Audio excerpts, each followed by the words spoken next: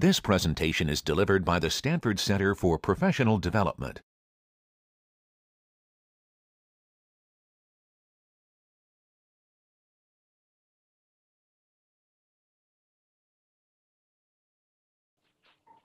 Well, good afternoon, everybody, and welcome to the Thursday, November 15, 2012 session in our series on green technologies in transportation.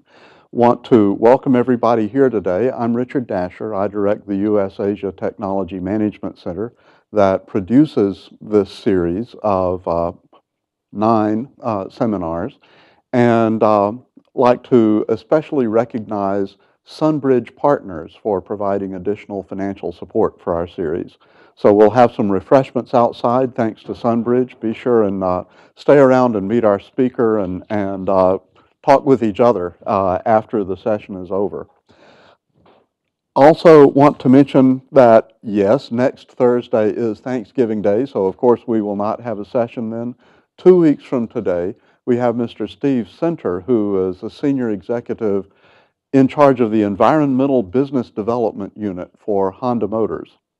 So uh, we have uh, EVs coming back in two weeks, and then uh, our final session in the series will be December 6th with um, Mr. Lou Thompson, who is very high up in regard to high-speed rail and advises um, the state of California on high-speed rail issues. We're going to ask what California should learn from Asian high-speed rail.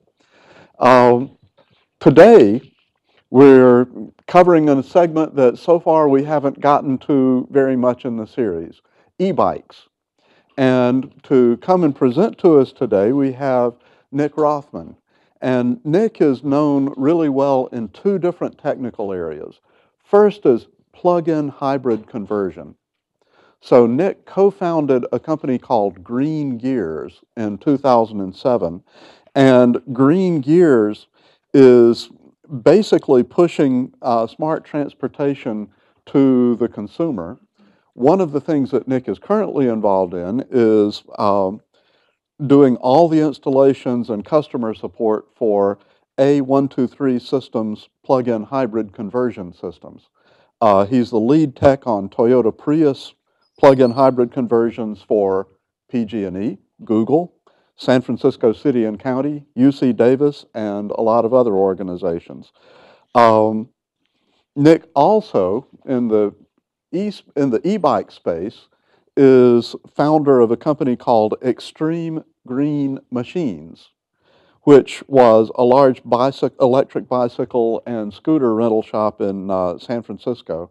Nick currently directs all of the e-bike um, maintenance work for Blazing Saddles, which is the largest bicycle rental organization in the United States, I think. Um, they're up in the city. And um, he's the author of two books, The Electric Bicycle Handbook and also The Homemade Plug-in Hybrid. So, uh, Nick, thanks very much for coming today. Thank you. So, uh,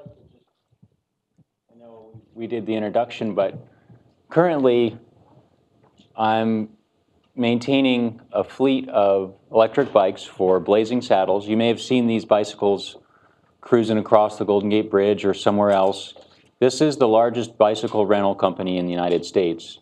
And what's really cool about their operation is they've found a way to use e-bikes profitably. So e-bikes, uh, you know, as a mode of transportation uh, it's sometimes it's hard to really break down the economics of one mode of transportation versus another.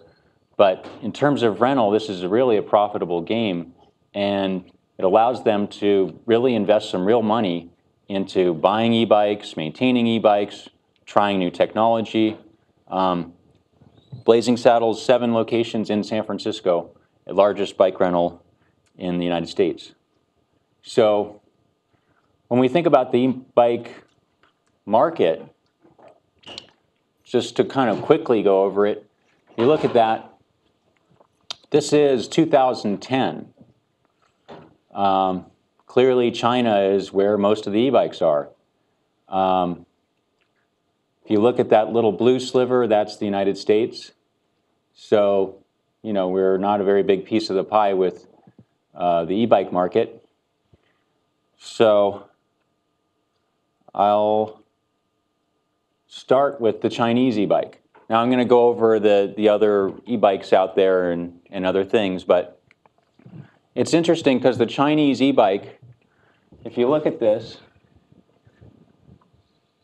they are really unique.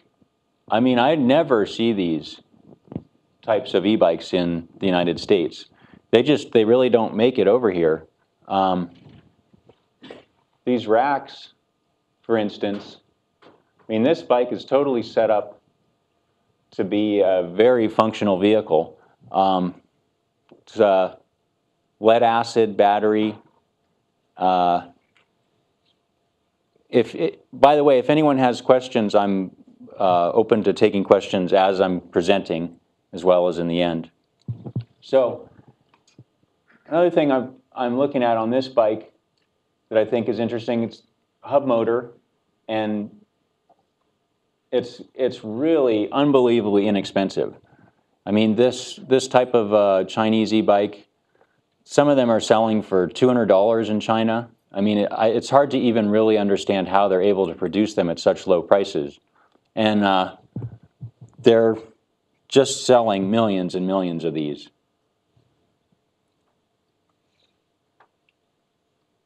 So here's the motor. Now,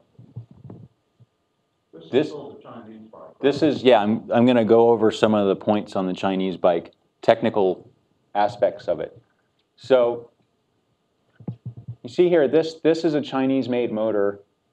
The Shimano you see written here, that's actually just the sprocket set. So that's uh, made by another manufacturer and screwed on there. But the, the Chinese hub motor um, is the direct drive type on most of these Chinese bikes and it's extremely simple and very cost effective.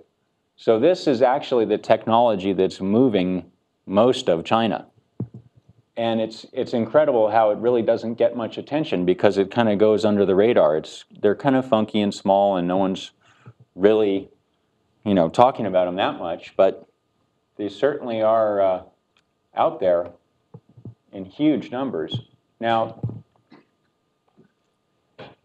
if you look here, here's a hub motor being made. Now what I find interesting about these is, in terms of the production, they wind them by hand. And we really don't hand wind motors in the United States or Europe or Japan. Um, but they've just found it to be more cost effective. It's, and it's, it's a very functional method. They just have, a, you know, simple kind of old world system where they they kind of use these pieces of folded paper as a guide. And it's just like weaving a pattern. And they they just crank them out that way. There's a nice row of finished uh, motor stators here. Now in the United States, we do import these hub motors. And uh, one manufacturer I was working with as a technician actually requested a production change and said, we'll agree to buy 100 units of your motors if you make a very minor change. I mean, nothing that would require new molds or anything. I think they just wanted one of the, like a little resistor placed on this card. And the manufacturer responded by saying, we make 10,000 units a month, so we're not going to make any change for 100 units. And it kind of brought the reality to us that, you know, buying 100 units seems like, you know, an order worth noticing, but to them, they're just, their production levels are almost unbelievable. Nick, what's the difference between an e-bike and a scooter? An e-bike's going to have pedals. Okay, okay. Is there anything in the size of the motor that's also, or the power of the motor that is kind of a difference? The motor power level is is kind of by region. So it's it is interesting how they break that down. The United States is the most generous. They're they're giving you 750 watts, which is pretty significant. If you ride a 750 watt e-bike, it's got a lot of power. Um, the Japanese actually uh, define it as a ratio of how much power the bike is putting in compared to the amount of pedal power you're putting in, and then it's capped at a, at a certain top limit. The Europeans just say 250 watts. So everyone has their own kind of set of guidelines, but basically you'll see an e-bike will have pedals and a motor of a certain output. Okay. So, I mean, this is just such a simple technology happening in these wheels. If you look, these are electric magnets, and these are permanent magnets. And the motor is just energizing the electric magnets in sequence and making it chase. I mean, it's, there's nothing new happening here. People were doing this 100 years ago, which is part of the reason it's, it's really just so cheap to make these, especially when you're making them by hand. And one thing we have noticed uh, in the, the e-bike world is the tolerances really don't matter as much as you would think. Now, when you have a car and you're crash testing it and you're driving 100 miles an hour on the freeway, tolerances are important. But when you're going 20 miles an hour down the road, um, I've seen some of these things where just the you wouldn't think it would run. Some of the, the holes have been drilled by hand at times or production errors, like little fixes, and they just happily chug down the road and no one really knows the better. So it's, it's just incredible what you can get away with. I mean, so here we are with the Chinese, the internals of the Chinese electric bike hub motor. And this outer shell has the holes for the spokes. Here you see them here. And it's just lined with magnets, and they're glued in by hand. And then the inner core here has these windings on it that are hand wound. And then the only really, you know, uh, modern electronics in here are these little, these three little sensors. And uh, they've actually recently devised a system to, to even get rid of those. So when I look in this thing, it looks like, like a toaster or something inside to me. I mean, it is just dead simple. And these can, uh, especially the versions without the sensors, you've, they have uh, bikes that they've run through creeks, you know, then, then flooded. It's, it's not waterproof. It's just that it's so simple, it doesn't matter if water gets in there. It just leaks back out. There's nothing, just metal, you know, coils of wire. So um, the, really the, the moving parts on this motor are the two bearings on the axle. That's it. It's just metal coils and magnets. Where's the lead for the battery? That'll come out of the other side, Okay. through, usually through the end of the axle. Uh, Now, a little twist on it that they've come up with is a, a small gear set. We're gonna, this is a planetary gear set just because of the formation of the gears. Here's the sun, the planets, the ring. So this is the- an identical motor that has just a miniaturized gearbox stuffed in the shell with it. And this will be on like a higher end Chinese e-bike. What this does for you is it allows the motor to spin at a higher RPM. And the way I describe this is, if, imagine you had a, a car and you had to just choose one gear, and that gear happened to be fourth gear. Well, you would need an incredibly huge, powerful motor to make a car just drive around in fourth gear. So because of the lack of any gear reduction in uh, an electric motor that's just simply built into a wheel, it's basically like be, it's a direct connection, so it's the same as your fourth gear on a car. So that's the reason they have these huge, heavy hub motors on a lot of these Chinese bikes, is because there's there's no way to put a gear reduction. So they've devised this, still cheap and simple, but requires quite a bit more um, in terms of keeping track of tolerances, parts count. So a motor like this is probably, um, you know, direct from China, maybe in the $200 range. And the previous, more simple version of the motor is maybe more in the 40 or $50 range. So, or even less. I mean, you know, there there are other. I think the the higher quality Chinese stuff gets imported here, but some of the domestic stuff is maybe you know 20 and 30 dollar motors that that they're able to produce. There's another keystone to the Chinese electric bike is the lead acid battery, and another tried and true technology here. Um, it's very effective. I mean, it's it's not the best item to to get Americans excited about electric bikes because it's heavy and you're not going to have much range, but they sure do work. And I've you know I've always expected that the Chinese would uh, change over to lithium batteries, but they seem perfectly happy with those uh, you know 120 million electric bikes on the road. They're you know pretty much all lead acid and uh, one of the big reasons behind that is there's just there's no electronics here.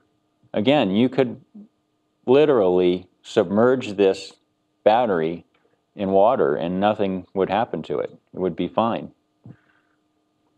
For a bike like this, about how much of the time would somebody be pedaling and how much of the time would they let the battery take over?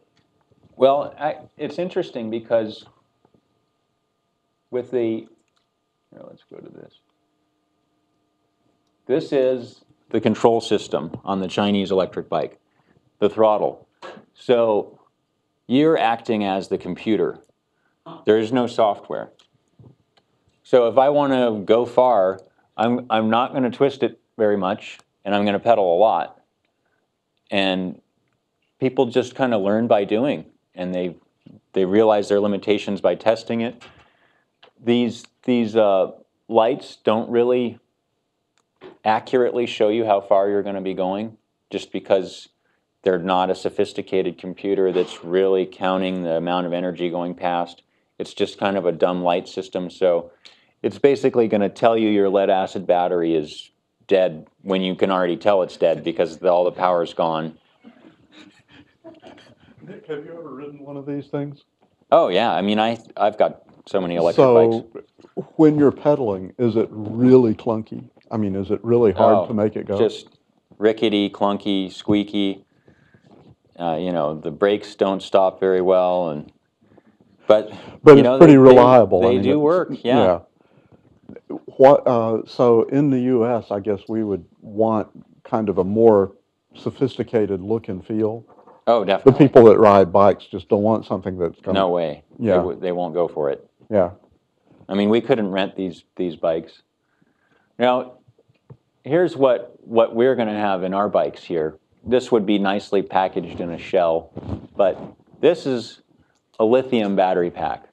So if this were a good quality pack, these cells would say maybe Panasonic, Samsung, some major brand battery manufacturer.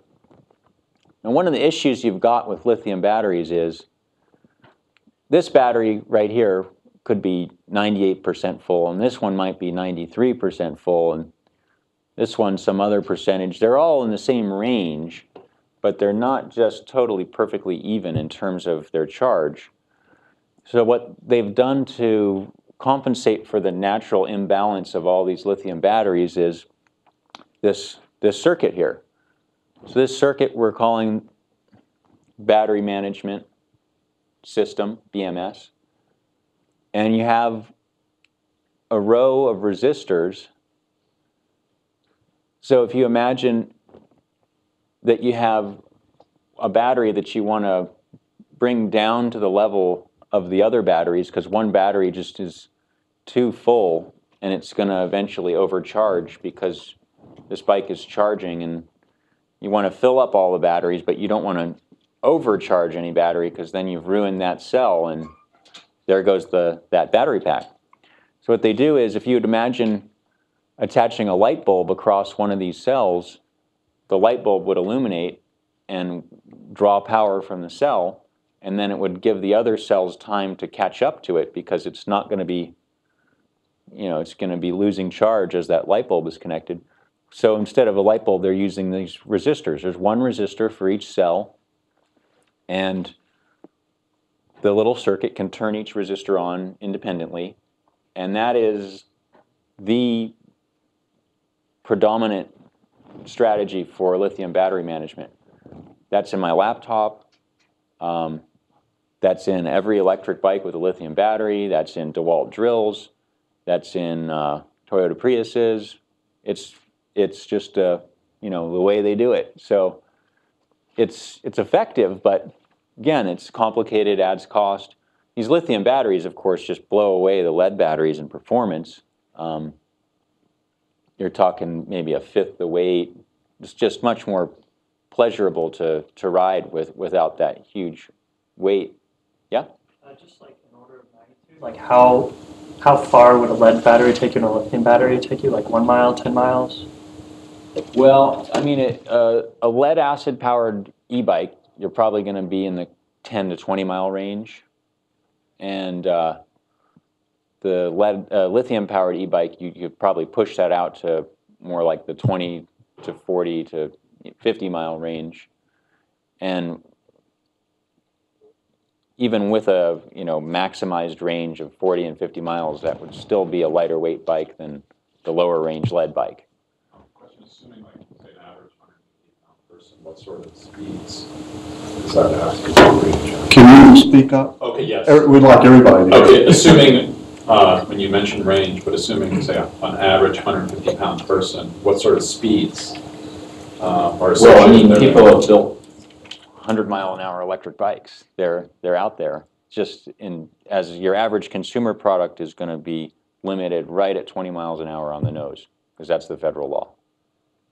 But maybe you mean what kind of speed gain would you see from switching to lithium? No, no, no, no, just, I'm just curious what the speeds are. All all the uh, American domestic e-bikes just power cuts at 20 miles an hour. Except for the state of California, which has two categories of motorized bicycles now. I own one, and it's legal at 30 miles an hour, so long as you have a motorcycle license and a helmet. Right. Right. And I'll tell you that 30 miles an hour is a wonderful addition when you're weaving in and out of the lazy bikers here on campus or other, uh, uh, you know, you're mixed in partly with traffic or something, the ability, you're going 20 miles an hour and you want to accelerate, you can do it. Yeah. It's, it's, it's a real safe, you know, we've all seen the pictures of the hordes of uh, bikers in China, all puttering along at the same modest speed. We don't, we aren't there yet, so an individual like me has to watch out for himself, and having this extra power, uh, very much with that kind of uh, lithium battery system, uh, it really matters. So if anyone's thinking about one, I'm happy to talk, it's upstairs. Uh, Well, and it's expensive, but I will rec, I will recommend the 30 mile an hour version over the 20. Yeah, good point. Is there, a- is there a differential in the charging sort of characteristics between? Oh, yeah, I mean, the lithium just wins in every category. You'll charge a lithium battery in half the time or less. You can quick charge them. The lead batteries just can't absorb the charge very quickly. It's a, so you'll see these lead batteries sitting on the charger for eight hours and it's, you know, 95% charge but you could leave it for a few more hours to get the last bit. And the lithium's just, boom, they're done. You know, they're, they work great. Excuse me. Yeah. Question. So you mentioned earlier that Chinese people are typically happy with the lithium, uh, lead acid battery now, but do you Yeah. think that's primarily because of the cost or Cost and durability. durability? Mm. So if you have a battery that costs, you know, three to five times as much and doesn't last any longer, in, in fact, it might have some issue if you were to drop it and this board cracked or it got wet or it's not just solid as a rock like those lead batteries that are practically impossible to break. In terms of the uh, cycle life, the lithium-ion batteries uh, last maybe thousand times uh, of charging, whereas Well- the lead acid batteries could last a couple hundred times or so. I'm, I don't see that in the field. Where, I don't ever see a thousand cycles. Some of them are saying three thousand cycles. I don't know. I mean, I've read the reports, but I'm not seeing it. I don't think the lithium's really, I, I think you, five hundred cycles is what you should expect from a lithium. Three hundred or? Yeah, but close, yeah, a little bit less. So, you, go ahead, you first. I was going to ask, how much additional cost does the lithium um, ion battery pack add? And do you think the consumer will pay for it? If it's so, why? Well, European, Japanese, and American consumers pretty much are into lithium batteries. Uh, and It's an easy upsell. And it, it- you know, it's two and three times the cost for the same capacity. I guess how much the- For the entire bike or? The battery itself. So what would, how much, what would the cost be, what would the differential be? So you could have a two hundred dollar lead battery and a six hundred dollar lithium battery. What are the whole, what are the bikes? But I'll cover some more bikes from, you know, other markets. One last thing before you get to that. Um, One of the complaints that you hear from people in the US that are kind of selling bikes and so forth is that the maintenance requirements for an e-bike is, are very high. You've always got the thing in the shop, always working on it. Yes, that's true. Um, i- the, in, um, with the real simple, cheap stuff in China, uh, do you ever hear anything about Well, the I think- maintenance situation I there? think one of the differences is that once you get to a critical mass where there's a, a real market for a product, the shops will come. So, you know, in Asia, there are, they have e-bike shops that are capable of repairing them on every corner, pretty much. I mean, because there's just millions and millions, hundred Okay. over a hundred million in China. So they have that covered. One of the big issues here is, um, you know, there are plenty of regular bike shops. You'd never really be stuck you know, with a issue with your pedal bike, but there's just no one to work on them because there isn't enough of a market. So it's this kind of chicken and the egg thing. But as any vehicle, it's going to need service, definitely. Who is the market for, the US, for a 20 mile an hour bike, or as he says, the 30 mile an hour bike? I'm not sure exactly. It's hard to know. Question though is that uh, at the big annual event of bike manufacturers and dealers that took place in Las Vegas about six weeks ago, called Yeah. Interbike, Yeah, I which was you're probably gonna mention, uh, four major manufacturers, Specialized, Schwinn, Trek, and Giant, all introduced new e-bikes Yeah. yeah. in Big the bike. fifteen hundred to low two thousand price range, I think. Yep. So they're all fishing for an answer to your question. Yeah. And there is, so there's no known answer, and as usual, there will be the early adopters. Uh, and I'm one of them. Except my bike is custom made, so I don't know. So he- what we have here, I'm just going to kind of quickly go through the rest of the pieces of the Chinese bike is, this is the controller. So what this does is it interfaces between the battery, the throttle, and the motor. And with the, the type of motor they're using, you have to have a controller. It's not just adding some functionality or, you know, cool features. If you don't have this, these motors won't run. That's because everyone's using brushless motors on e-bikes. And with, without the brushes, you need this little box. And again, it's just literally amazing. They're making these and selling them for $20. And it's something that you look at it and it seems like it would cost a couple hundred bucks. I mean, there's some real high-powered electronics in there. And once you get to this, you know, tens of millions mark with production, they really worked out the bugs in these, and they're, you know, there are various versions. So these have really come a long way in the last five or so years. Uh, here again, we have the the throttles that are going to connect to that, and that's just that's the the interface with the the rider. Is there any uh, way can charging the battery when they go, when they go downhill? Some of them will, yeah. If you apply the brake on the Chinese bikes, yep, you apply the brakes and you'll feel an engine brake kind of a sensation as if you downshifted your car and, you know, you're slowing with a nice even drag and it's returning energy to the battery. So that, that works really well with the brushless motors and it's, it's built into a lot of those $20 controllers, just as a basic function. It's not on all of them. So here, Are you, are Any safety issues in the past with the Chinese e-bikes?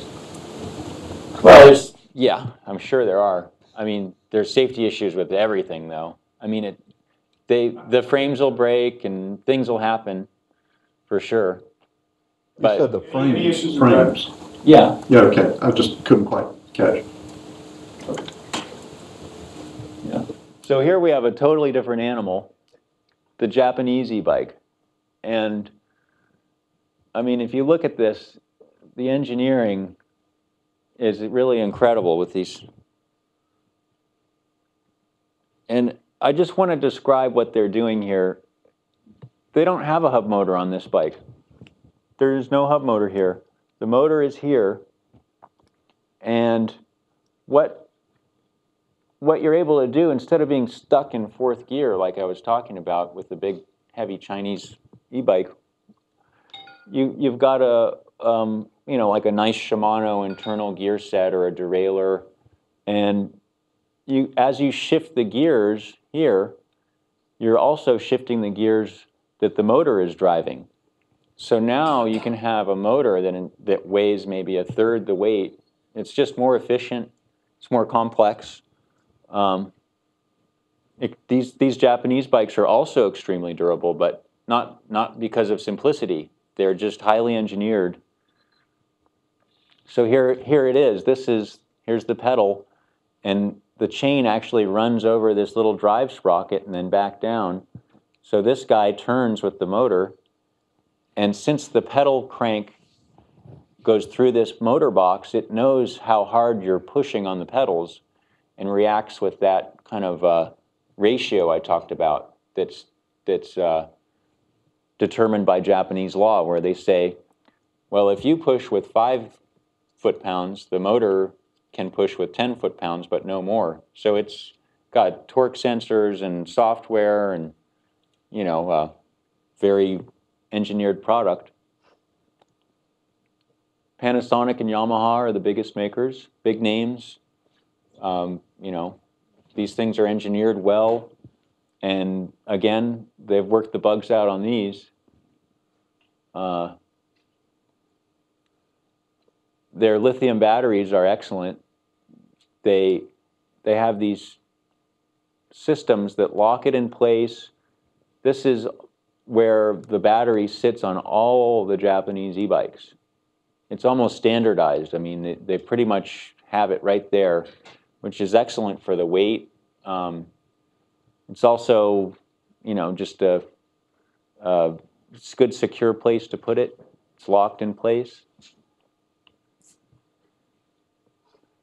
Various frames.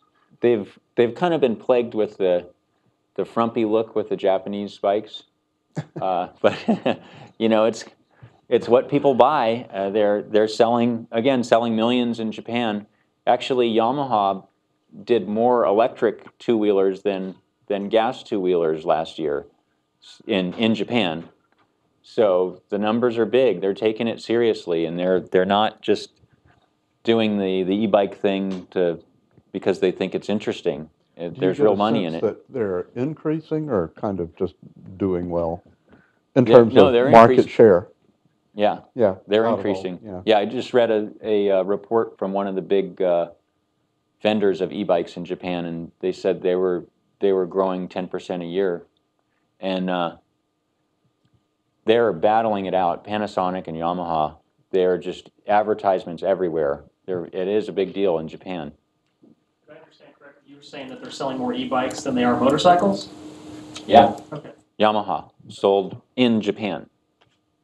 Now you have to realize in Japan, if you want to get a motorcycle license, it's no laughing matter. I mean, you're going to spend a few thousand dollars and take courses for weeks and weeks, and it's you know, the registration and everything. It's a total pain. So there's, it's kind of understandable why a lot of people would maybe just go the easy way and grab the, the e-bike. Where do uh, electric scooters fall into the continuum? Well, here they don't have, do you mean the, the little like kickboard types or the, the Vespa type? Like the Vespa types. Here they're having a tough go at it because once you get a motorcycle license, now you're free to just grab any motorized vehicle that also requires insurance and a plate and you can get a parking ticket. So at that point, once you've gone through the trouble and expense, a lot of people will just get the Honda scooter, the gas powered Vespa, because one of the huge advantages of the electric bike is that you don't need uh, registration, you don't need insurance, there's no plate on it. That falls away when you go with the Vespa style. So that's killed the market to a certain degree, for the electric at least. One of the things about the electric scooters is that they used to be able to take hills better, right? Because they had more power, is what I Well- was used to, but If you got the licensed one, Yeah, you yeah. can, you then can it's a like a of power on it. motorcycle, sure. Yeah. But so the 750 watts will really climb a hill. Okay, The Japanese are 250, and but they're they're just so efficient, uh, you know, that it it's really it's you have to pedal though is the other thing. You can't just sit there. There is no throttle on these. It's just sensing how hard you pedal.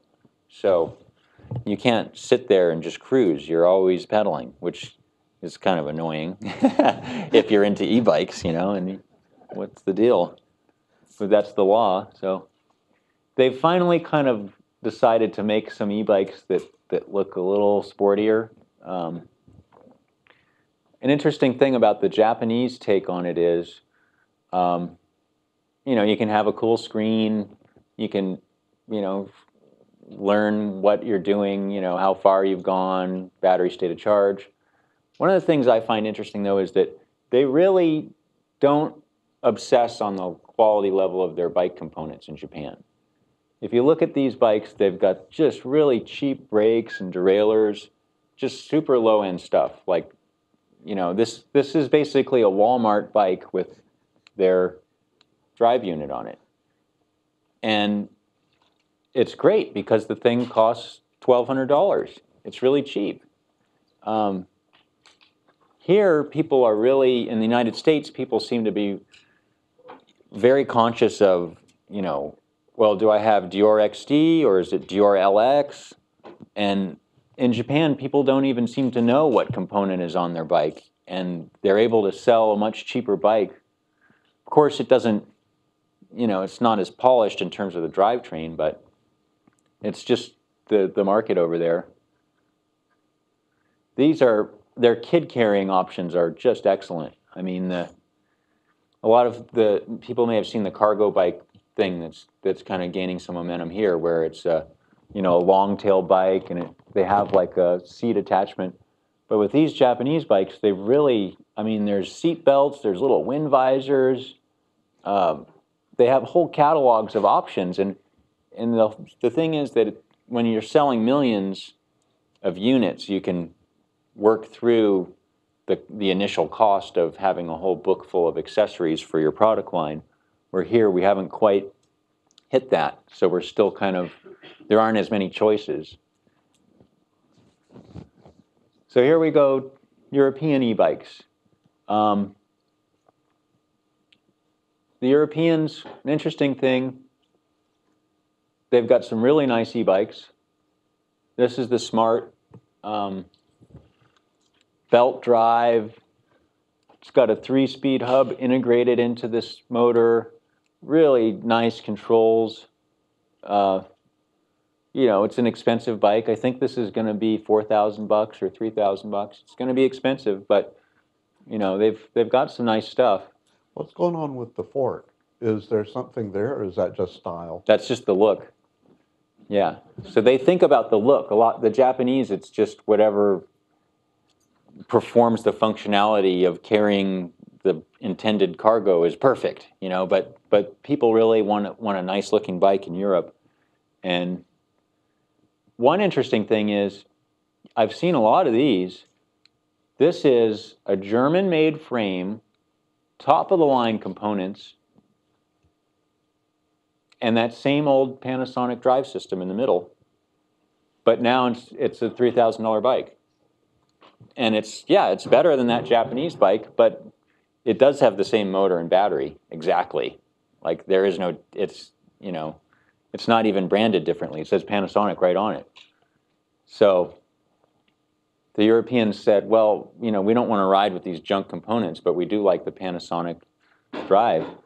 And they said, well, let's just make something exactly like that that's that's uh, ours. So the Bosch, and the Bosch is is going to be on a lot of bikes soon. There's going to be a Cannondale with the Bosch system. Uh, they're they're going to be out there. It's exactly like the Panasonic and the Yamaha. It feels the torque that you're putting into the pedals. You've got a pedal. It's got the screen as an option if you want the you know the information. The battery goes right in that same spot. It's got the lock. So that's the the Euro take on it. And And you're still not going to be able to cruise. You still can't cruise, yeah. Yeah. unfortunately. the now I rode this at Interbike. It's it's very polished. It's really nice. Um, so you know I've got high hopes for for this system and the bikes that it comes on. What's the price? It's it's still kind of unknown. I mean I've seen some guesstimates, but I think it's it's going to be on a lot of 2013 bikes. They just kind of released that. So here we have the American e-bikes. Now, this is a moped-ish uh, setup. You know, you this is all about the cruise. I mean, you really you could pedal sometimes if you felt uh, like you wanted to, but the huge tires, it's got a lot of drag. They've got this roller here. I maintain a fleet of these, and these are about 80 pounds. They're pretty heavy. And, uh, you know, heavy hub motor, but people love renting these. I mean, you just hop on and just, it doesn't require that you go a mile or two an hour before the motor is active. You can just turn this thing on and just crank the throttle and it goes from a stop. So it's, it's basically a moped. I mean, a moped that falls within the laws of electric bikes. You don't need a license. Cruisers are big in the United States, so branded cruisers. This is a Pedego. Again, they just grabbed a like a direct drive Chinese hub motor. All the components are Chinese, but they've just kind of reworked it into a more stylish package. But none of the American manufacturers seem to be making any of the components at all. like maybe no, I don't think they're making any of the components. So it's, you know, it's the the rebranding thing. I mean, they, they take a lithium battery. I've seen various brands on all the different American bikes. They kind of shop around, test some stuff, make some deals with the manufacturers, and then that's that's their technology. And interestingly, one of the phenomenons in the United States is the conversion bikes. As Americans, it's interesting, the conversion thing, the custom bike is big in the United States and Australia, some other areas of Europe, some, some areas of Europe as well. But, uh, you know, in, in Asia, people aren't, they don't want to make their own bike. They, they want to buy a bike. In America, uh, people just love making these conversions. So some of the makers of these kits have really done well. They've actually done had more profitability than a lot of the finished bike makers. You'd probably, if you did a lead acid kit, you'd probably spend maybe five or six hundred, and if you did a lithium kit, you'd be up a thousand, twelve hundred for a low end you know, the sky's the limit, of course. You could, you could go big and spend a lot.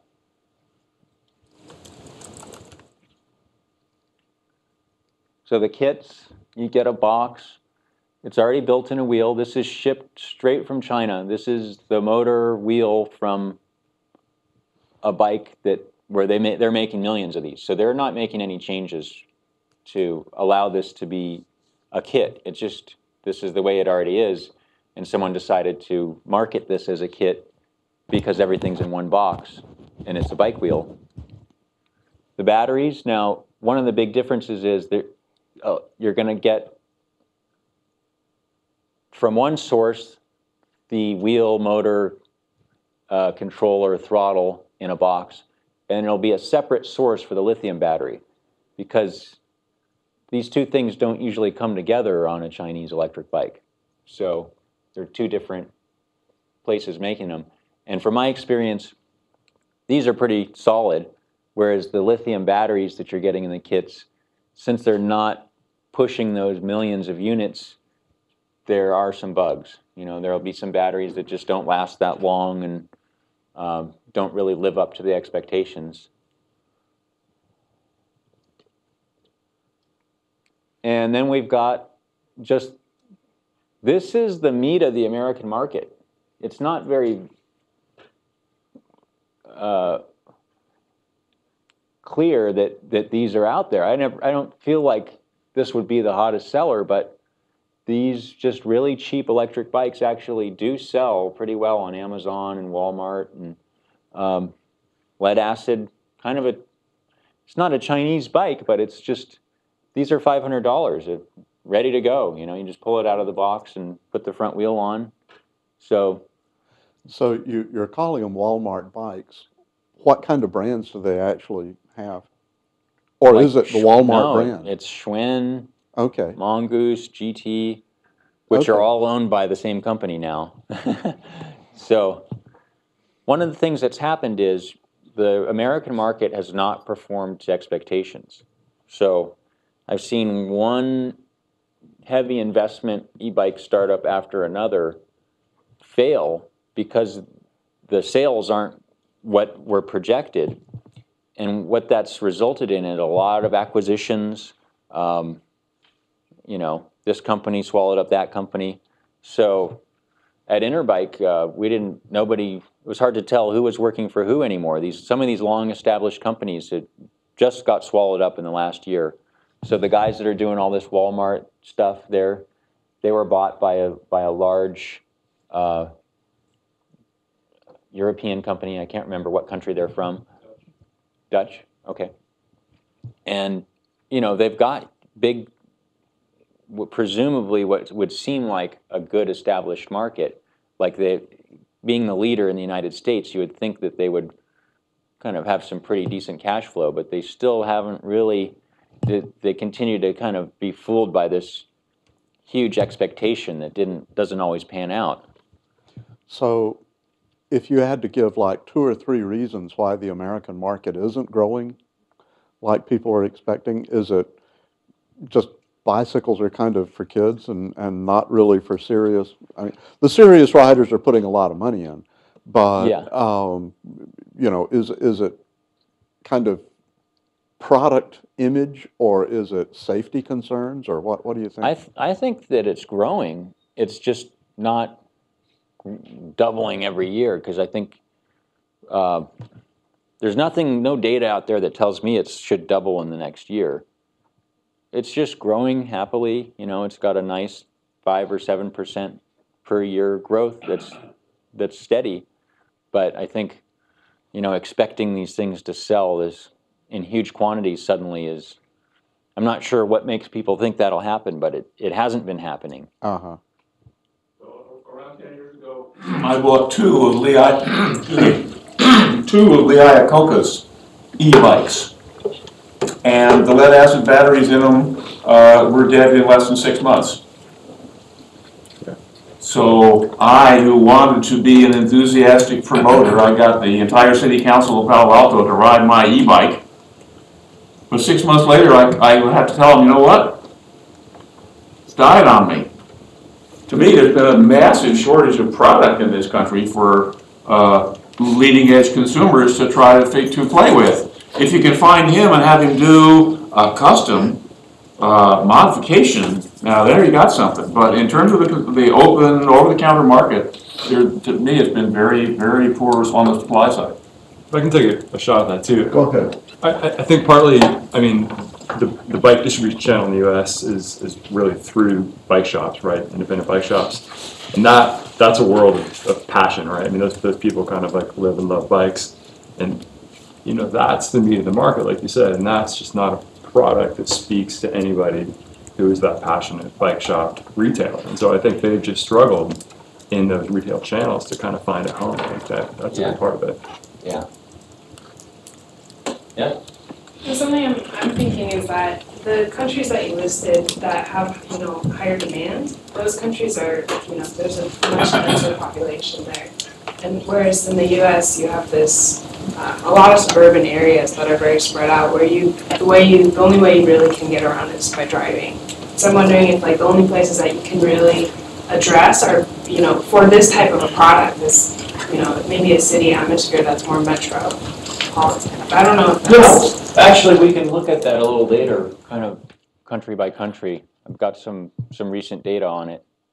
So, I mean, if you've traveled to any of the countries I'll show, it may bring to mind why they're working well in some places and not others. So, finally, we do have some really high-end bikes here. I just assembled one of these uh, about two days ago, and I was pretty impressed. It's a fifteen thousand dollar electric bike, made in Colorado. It's you know very well sorted as you would expect for for that price point.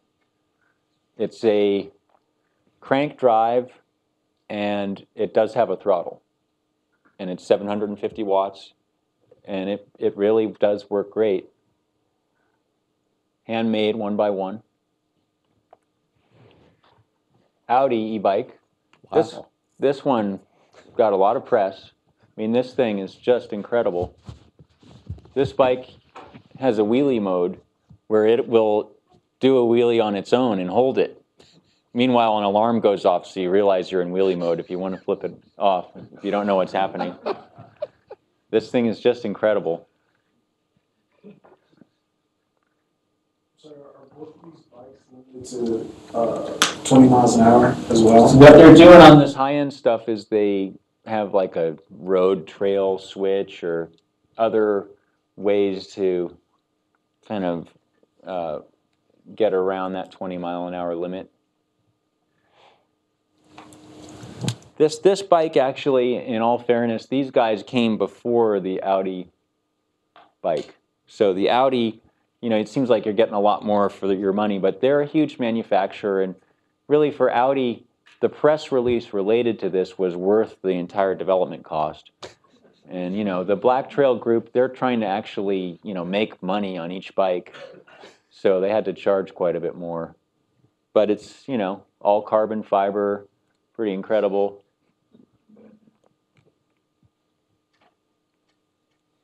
Is that kind of what you said is analogous to the Tesla? Yeah, yeah, that sounds right. Optibike, the, the $15,000 Colorado-made one, they call themselves the Ferrari of e-bikes. But a lot of the, the super high-end stuff is about a custom, super low production quantity crank drive.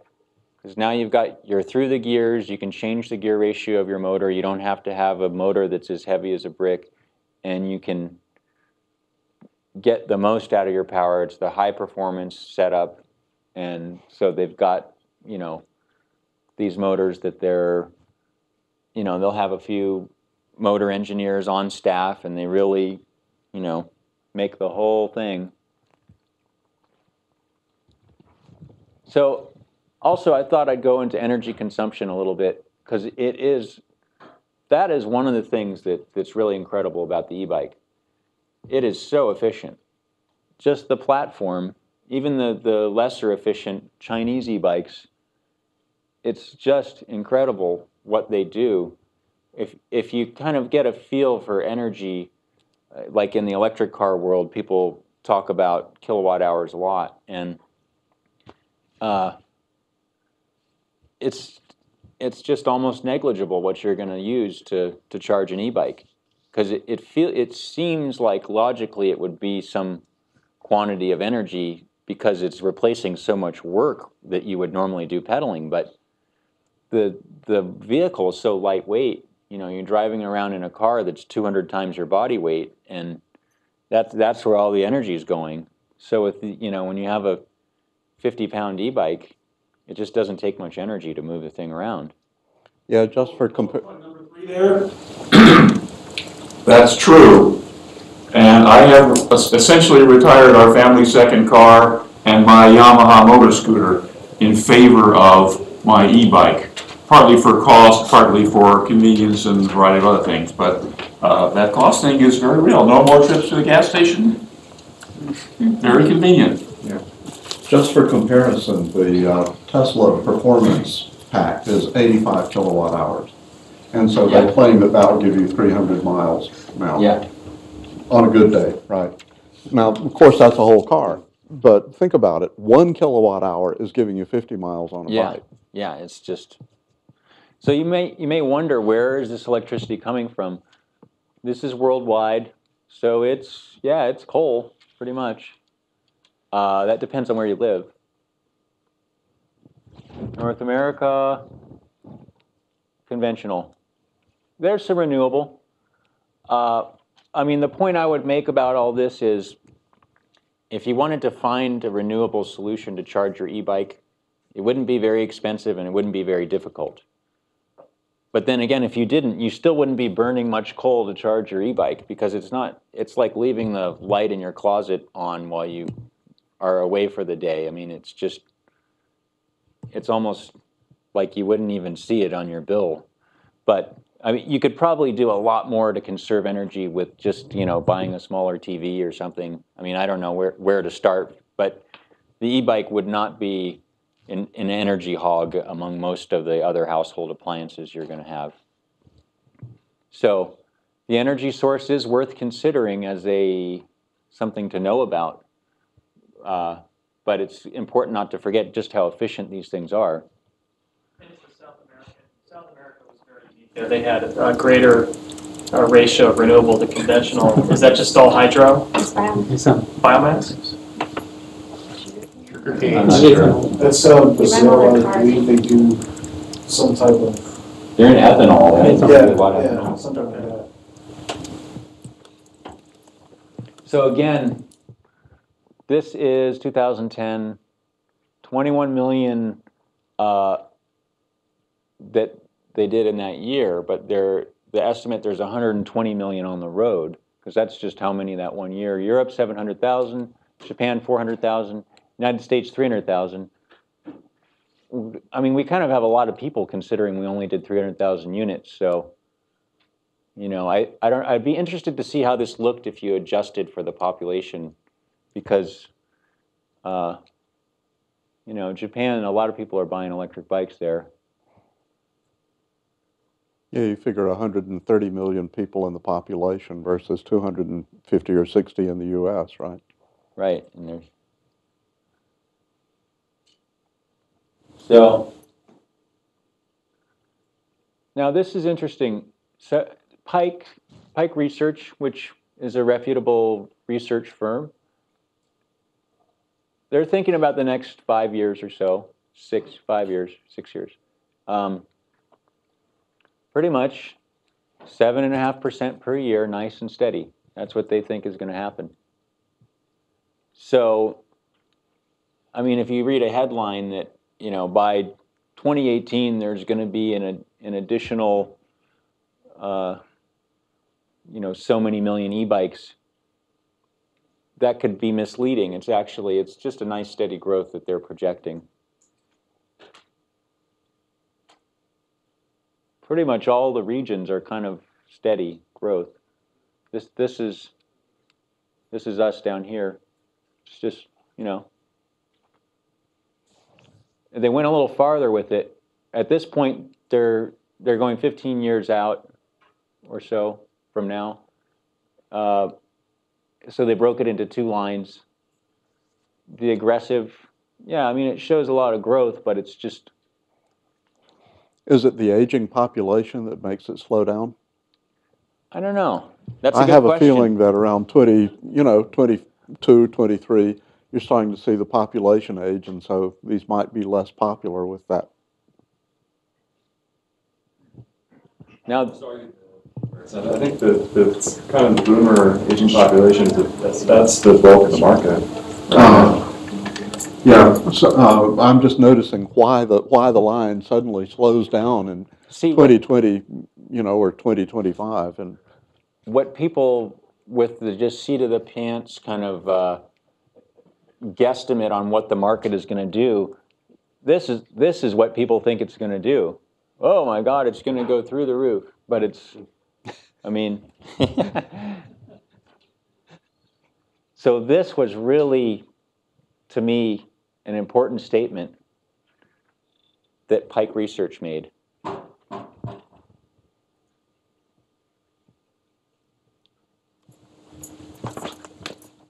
So do you see any uh, sign that the Japanese domestic, the Chinese domestic makers are going to try to jump into other markets?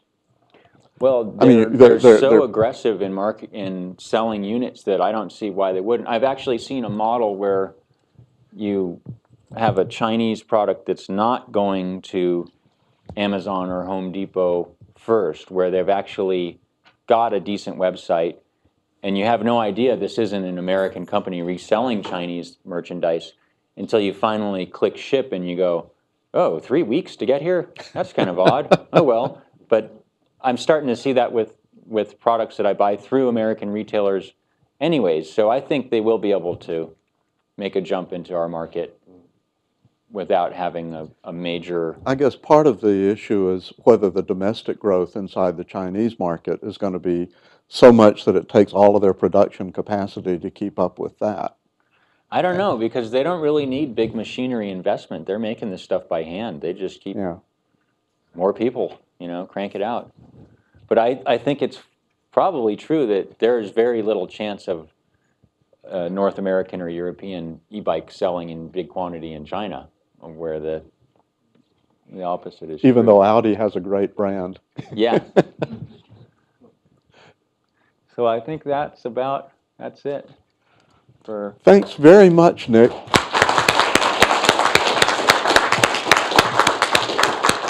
I do want to open the floor to questions and comments. Uh, Go ahead. You know what's that?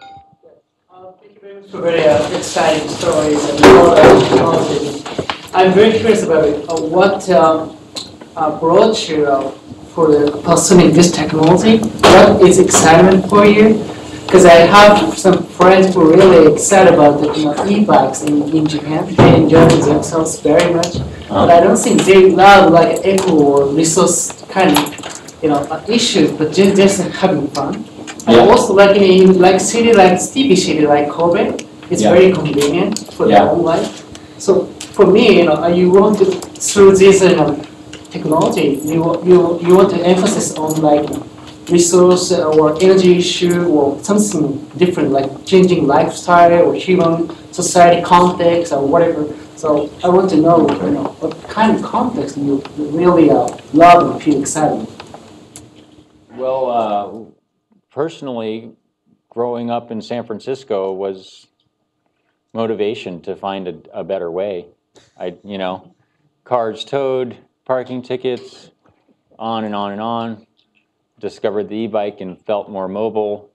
Of course, I could take the streetcar around, but I kind of want my own transportation, and it was really been a fit for me for years. I've had just dozens of e-bikes, and and I use them, and they're effective for me to to move myself around. So that was seems to make sense. I think it they'll they'll make sense for other people out there, of course, too. Just to kind of interrupt for a second, I- in terms of who's in the audience, I think we've got at least a couple of people who are actively involved in the e-bike business. Are you Adam? Yeah. Adam Vollmer with Faraday Bikes. Would you say just a second about who you are and what you're doing? Sure. Uh, thanks for the chance. Great talk. So my name's Adam. Um, I'm the founder of a um, e-bike company based here in Palo Alto, actually. So we make uh, kind of on that higher end of the uh, U.S. domestic market um, a bike that we're, we're really sort of um, trying to approach it from the philosophy of designing a bike that people who love bicycles and love riding bikes can, can really get behind. So it's a beautiful, um, clean, elegant uh, electric bike with a relatively light assist, kind of more of a, a European style. Um, Yeah, it is beautiful. Yeah, I saw it in your bike.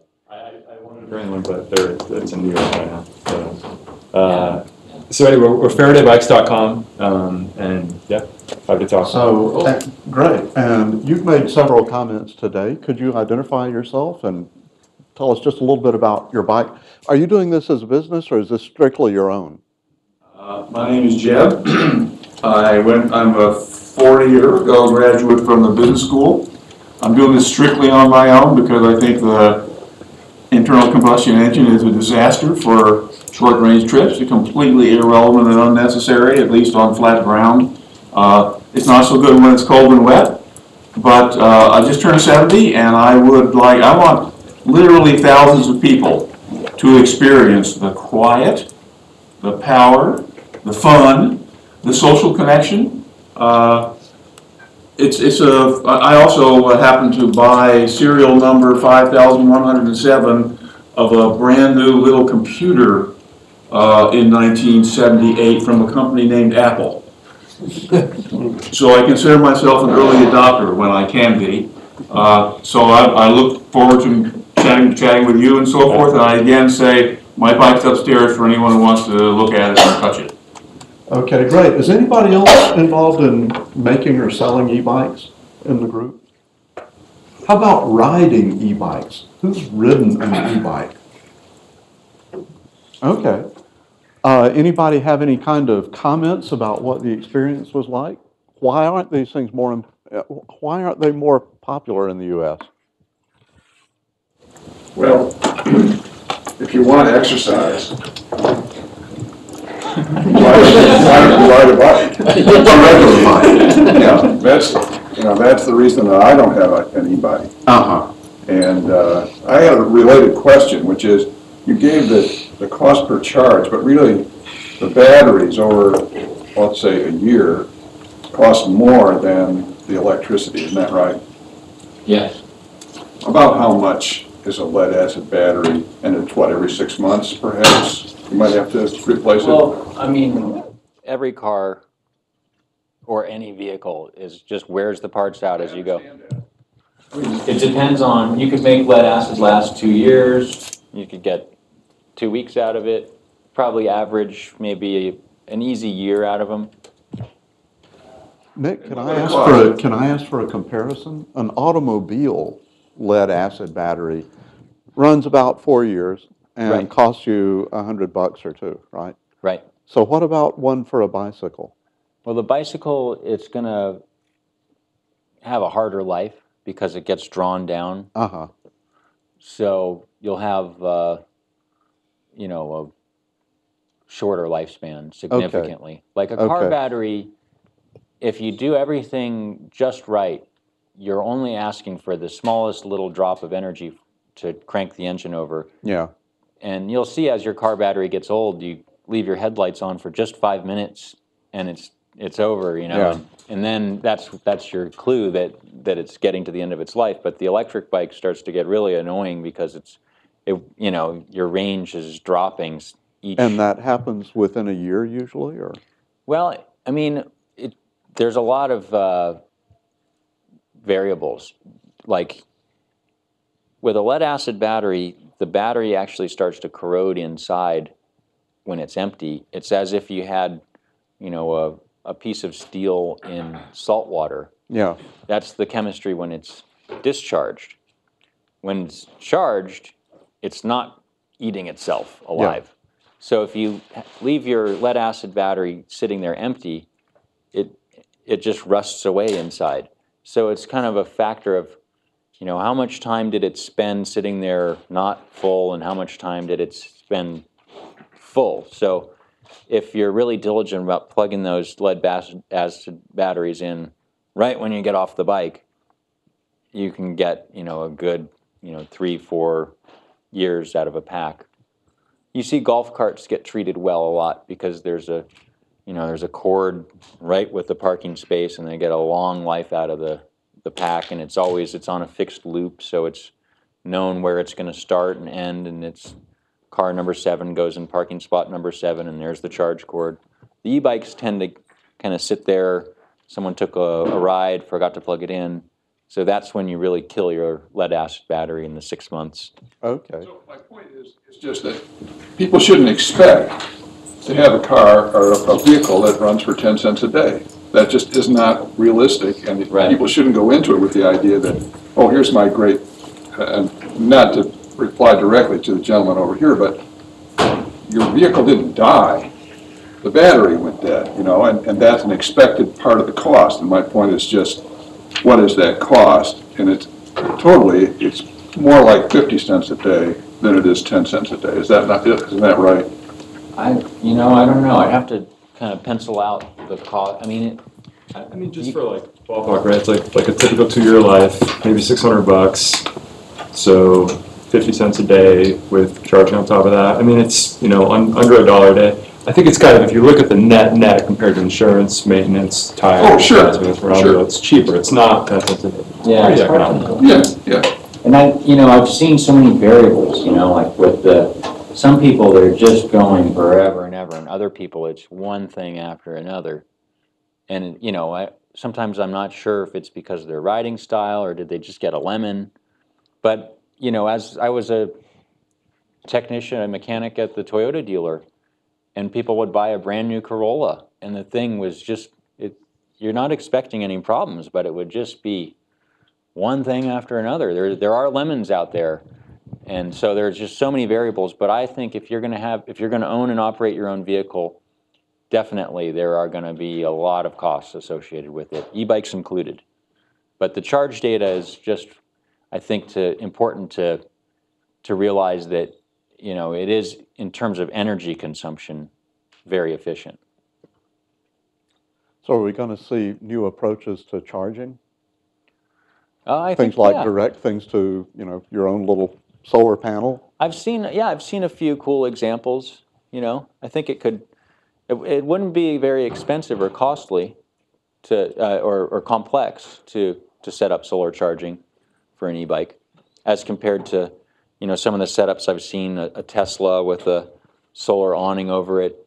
It's Yeah. cool, but it's, you know, you're, you're spending a lot more money to go solar on that car, and there's a lot more involved in it.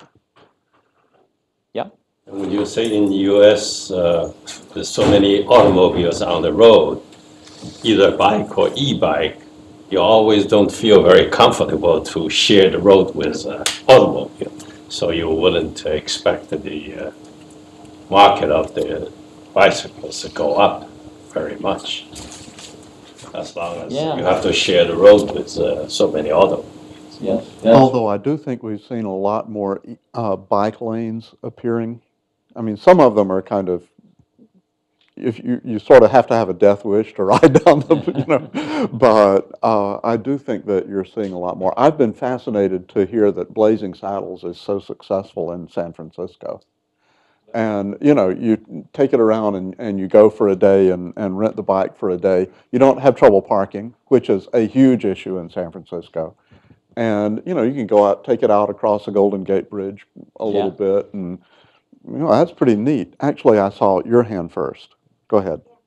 the only motivation for lead acid the cost? Because if you're going to compare like lithium ion efficiency and the energy density, it's just it's incomparable, right? So if you're talking Cost about like the lifetime And lifetime, durability, in terms of just like physical shock type issues, like crashing the e-bike, um, things like that.